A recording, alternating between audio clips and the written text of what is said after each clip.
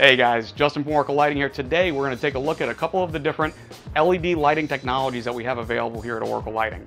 We have several different options when you go to order your halos and we know this can be somewhat confusing when you go to order so we're going to take a look and see what makes each one of these options unique. The first lighting technology we're going to take a look at is SMD. SMD stands for Surface Mount Diode. That's when you see the individual LEDs arranged on the circuit board to create the light array. SMD has gone through a lot of advancements in recent years, and today's SMD halos perform at a very high standard. The most noticeable difference is the presence of an inline LED driver. LED lights are designed to operate on a direct current at a very low voltage. The LED driver corrects the input voltage and protects the LEDs from both current and voltage fluctuations. On the previous models, the voltage was adjusted through resistors, mounted on the back of the circuit board, as you can see here. If a resistor failed, it would cause that segment of LEDs to turn off. By removing the resistors from the circuit board and developing a constant current external driver specific for this application, we achieve several advantages over the previous year's model. The first is increased reliability. By conditioning the power going into the LEDs, this prevents degradation, which can shorten the overall lifespan of the product. Wider voltage input range. These new SMD halos can operate on a wide voltage range, anywhere from 9 volts to 36 volts. As we increase the power on the regulator, the power goes into the driver, and the driver takes that and converts it so that no matter what voltage is going into the driver, the current and voltage coming out remains the same, which is the optimal working condition for the LEDs. Ease of installation. With the resistors no longer on the back of the circuit board, there's more surface area contact between the PCB and the headlight mounting surface. Brighter, more even light.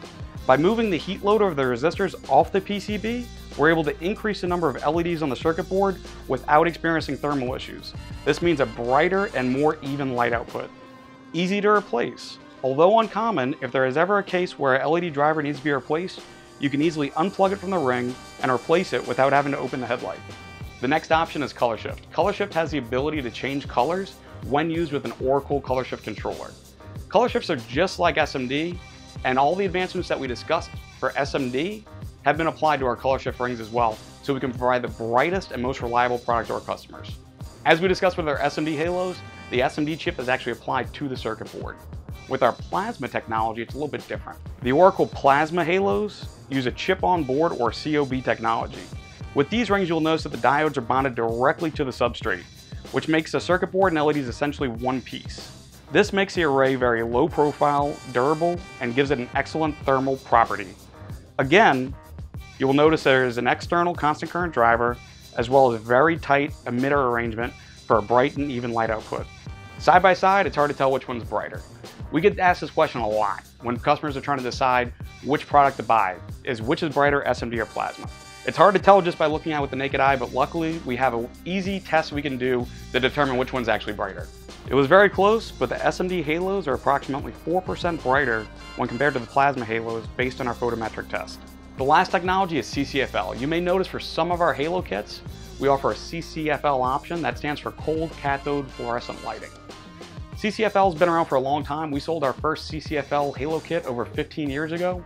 So as you can imagine, the technology is somewhat dated and the product is becoming obsolete because of the advancements in LED technology. Well, we hope you have a better understanding of the products that we offer now. If there were any questions that perhaps we didn't answer, please feel free to comment below or give us a call, and we'll be happy to answer any questions that you have. Thanks for watching.